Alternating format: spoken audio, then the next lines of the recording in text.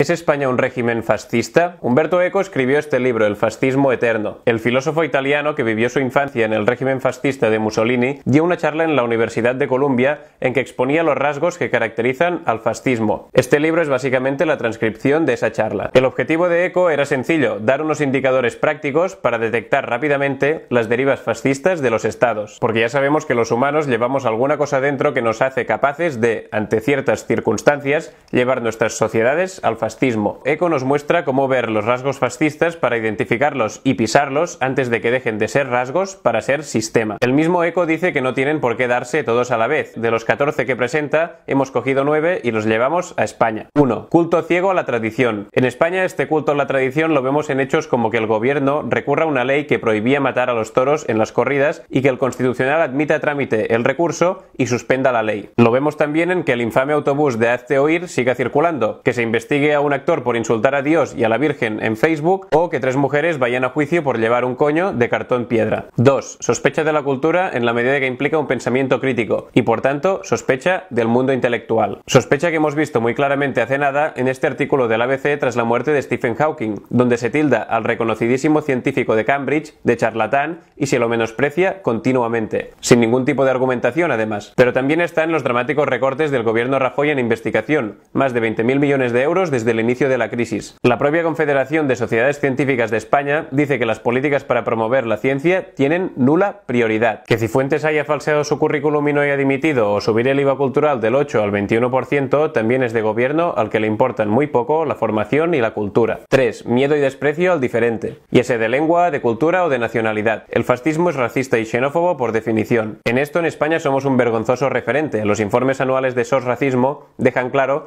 que el racismo institucional, la discriminación discriminación desde entidades tanto públicas como privadas y el rechazo social son más que frecuentes, tanto en España como en Cataluña. Las cuchillas en las vallas de Ceuta y Melilla, el incumplimiento de la cuota de refugiados o las ilegales devoluciones en caliente son algunos ejemplos, sin olvidar los infames CIES, prisiones pero con otro nombre donde se vulneran los derechos a la tutela judicial, intimidad, sanidad y comunicación, la persecución a los vendedores ambulantes top manta o que el Constitucional anule la cobertura sanitaria a los migrantes sin papeles en regla. 4. Obsesión con un complot, ya sea ordido desde fuera o desde dentro Muchos eh, eh, mensajes y muchas intervenciones que se han producido a través de las redes sociales vienen de territorio ruso. La historia de que Rusia está interfiriendo en el conflicto Cataluña-España ha sido afirmada por Cospedal y por varios medios, siempre con un mismo problema, nadie ha aportado ni una sola prueba. Aún así, una delegación española fue al Parlamento británico, en una comisión que investiga una supuesta campaña de noticias falsas en Reino Unido, entre ellos estaba David Alandete, periodista del país, que destapó la injerencia. Podríamos contaros el ridículo que hicieron, pero mejor que lo veáis. We're interested in the evidence, and and we that's what I want to, to know. And I've had, a, hmm. had an answer. Do you think the Russian government is seeking to interfere with with the outcome of, of the referendum in Catalonia? Like I said, we have we have no no specific evidence. So, so is that a no? That is, that is, we don't know. You don't have evidence, okay. Yeah. Do you have evidence? How much of an impact did it have on the result?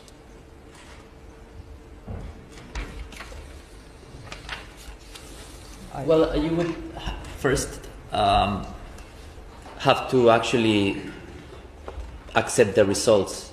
And as you know, the referendum was illegal. I, I understand the, the, the, the line of the, the Spanish state on this matter, but in the lead up to, to the referendum, there seems to you, you, you seem to be saying that the Russian interference was so huge and so oppressive that you couldn't move through it. So, have, has any analysis been done on the effect on the result of this Russian interference?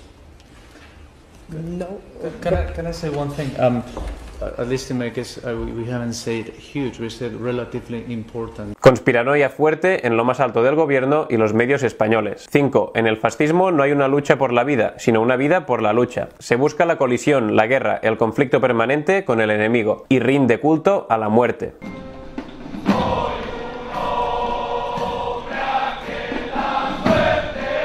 El himno Novio de la Muerte de los Legionarios es buen ejemplo de ello. Por cierto, la Legión es un cuerpo militar todavía hoy en activo que luchó en la Guerra Civil Española junto al bando franquista. Y el discurso de la por ellos en relación a la crisis en Cataluña es búsqueda de conflicto permanente. Mucha fuerza y al 21 a por ellos. Gracias. También está ese chat de WhatsApp donde policías de Madrid loan a Hitler y dicen somos justicieros, estamos donde debemos, en la calle, matar es nuestro lema. 6. El fascismo anhela una especie de solución final ante los problemas que identifica, solución final a la que se llega con el uso de la fuerza. ¿Quién ha hecho que hoy por hoy Esquerra Republicana de Cataluña y el resto de los independentistas no tengan líderes porque están descabezados? Mariano Rajoy y el Partido Popular. ¿Y quién está mandando a la liquidación al independentismo?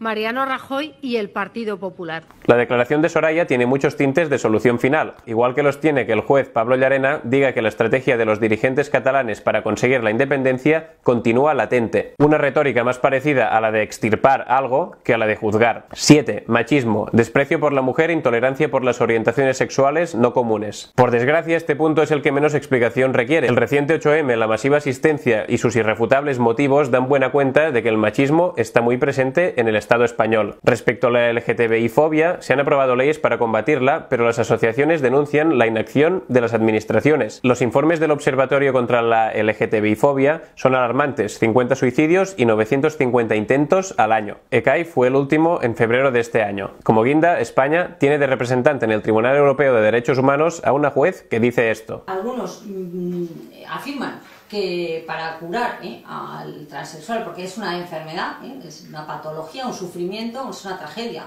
8. ¿eh? Uso de la neolengua. El fascismo también se caracteriza por el uso de eufemismos y por la existencia de expresiones prohibidas. Ejemplos de eufemismos tenemos mil. Ajustes cuando quieren decir recortes, cambio de ponderación impositiva cuando quieren decir subida del IVA y de otros impuestos, desaceleración económica cuando quieren decir crisis, etc. En lo que se refiere a expresiones prohibidas, a los medios catalanes se les prohibió decir consellers encarcelados o president Puigdemont en la última campaña electoral. 9. Al fascismo no le gusta la libertad de expresión, impresión, manifestación ni de asociación política. Respecto a la libertad de expresión tenemos las condenas a Hassel y Baltonic de 5 y 3 años por rapear y Alfredo Remírez y hasta en prisión por unos tweets. Respecto a la libertad de impresión hay el reciente secuestro del libro Fariña, que ha dejado de imprimirse y de venderse hasta que se resuelva la demanda de un exalcalde del PP. La ley Mordaza de 2015 ya limitó y criminalizó muchísimo la libertad de expresión, manifestación y asociación. Pero en las últimas semanas se ha ido más allá. En Murcia hay un estado de excepción de facto. Hace solo unos días se vieron agentes de la Policía Nacional armados con subfusiles de asalto. El Estado usando armas de fuego de largo alcance para reprimir las manifestaciones y las protestas contra las obras del AVE. Finalmente, respecto a la libertad de asociación política, tenemos la prisión sin juicio ni fianza para los nueve activistas y políticos catalanes. La justicia española les pide hasta 30 años de prisión por alzamiento con violencia cuando no se alzaron con violencia y no se cansaron de pedir que nadie lo hiciera. Por tanto, ciertas ideas políticas no se pueden querer en España. ECO ya lo advirtió. Sería mucho más fácil para nosotros que alguien se presentara delante de todos y clamara quiero volver a abrir Auschwitz, quiero que las camisas negras vuelvan a desfilar por las plazas. Pero ay, la vida no es tan fácil.